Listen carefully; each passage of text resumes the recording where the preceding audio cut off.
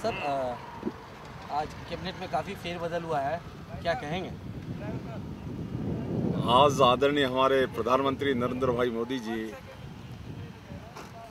ने केंद्रीय मंत्रिमंडल में विस्तार जो किया है, सही मायने में चार हमारे जो ऊर्जावान मंत्री थे, उनको कैबिनेट मंत्री का दर्जा दिया गया। और नौ ऐसे नौ रत्न लगातार जिसको आप चला रहे हैं अलग अलग सेलेक्ट करके बिहार यूपी राजस्थान, सब जगह से और बहुत ही अच्छे, ऊर्जावान, जिनकी परफॉर्मेंस भी सर्वश्रेष्ठ थी।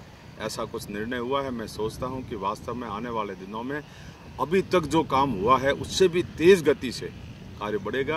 विभागों का बंटवारा होने के बाद में सारे के सारे हमारे जो मंत्रीगण हैं, वो बहुत ही अच्छा और श्रेष्ठ कार्य देश हित और राष्ट्र हित में करेंगे। सर कई मंत्री का कद काफ़ी बढ़ाया गया है। इसको आप किस तरह देख रहे हैं? देखिए जी ये एक टीम है। हमारे पार्टी में भारतीय जनता पार्टी में और हमारा देखने का नज़रिया एक ही है।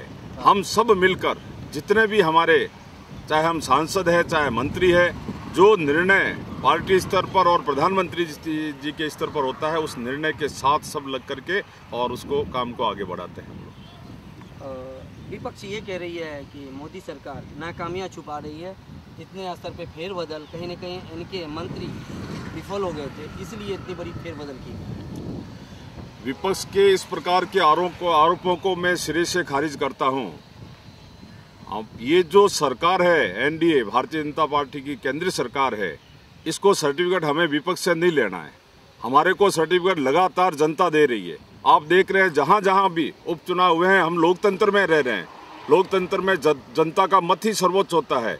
जनता भाजपा को चाह रही है, जनता अभी आप लोगों ने सर्वे किया है। उसमें साफ़ आ गया कि आदरणीय नरेंद्र भाई मोदी जी का ग्राफ निरंतर बढ़ा हुआ है, आज भी बढ़ा हुआ है और आगे भी रहा, रहेगा। ये उनकी निराशा, हताशा का प्रतीक है। इस प्रकार के आक्षेप आरोप विपक्ष की तरफ़ से लगाए जा रहे हैं। आप ए सांसद भी हैं और अभी जो मंत्री आने वाले हैं कौन से मंत्री हैं और किनका इंतज़ार कर रहे हैं? हमारे जोधपुर से भी ऐसे तो सारे मंत्री अब निकलने शुरू हुए हैं सब यहाँ पहुँचेंगे और हमारे साथ में जोधपुर से हमारे जिलाध्यक्ष और सारे जो हमारे कार्यकर्ता आए हुए हैं वो हमारे शेखावत साहब गजेंद्र सिंह जी शेखावत वो आएँगे उनसे ये वेलकम करना चाहेंगे मिलना चाहेंगे इसलिए मैं इनके साथ में यहाँ पे रुका।